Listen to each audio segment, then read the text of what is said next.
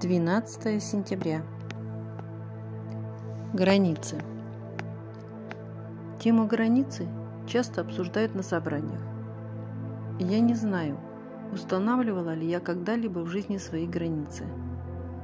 Я много раз говорила наркоману, что именно я не позволяю ему делать, но потом я сдавалась и разрешала ему игнорировать установленное мной ограничение.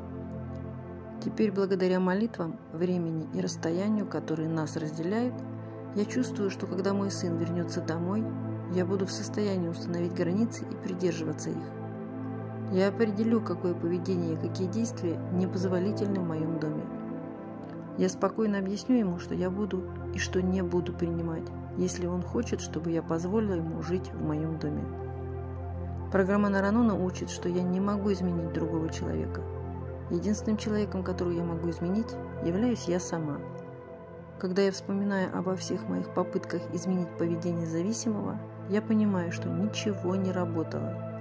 Что-то, возможно, помогало на несколько дней, но никогда не приносило длительных результатов. Чтобы границы работали, их надо придерживаться. Я поняла, что молитва и чтение литературы Наранона помогли мне сосредоточиться на своем поведении и потребностях. Я понимаю, что требуется большое мужество принимать вещи, которые я не в силах изменить. Но такова реальность. Я не могу изменить наркомана.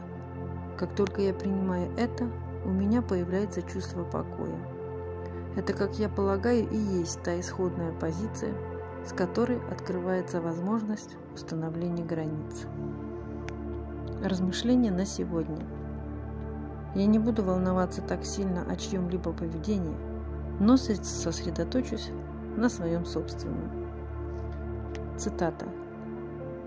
Тот, кто уважает себя, может не опасаться действий других. Он носит кольчугу, которую никто не сможет проткнуть. Генри Уотсорт Лонгфелло